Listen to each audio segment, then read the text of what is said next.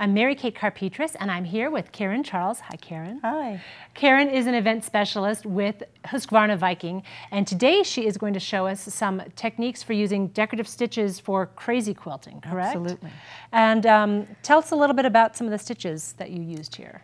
Well, most of these are simple stitches that are on the machine. Some of them are specifically vintage stitches that have a very heavy look to them.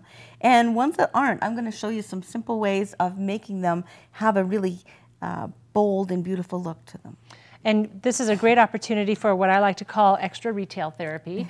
um, we don't, as um, quilters, don't always get to use these beautiful sparkly threads, um, but this is a great opportunity to use some of these. Yeah, right? absolutely. I use a lot of metallics, and in our bobbin work, we're going to use a lot of heavier cords that you couldn't put through the needle. Mm -hmm. So it gives us an opportunity to really do something like this one over here.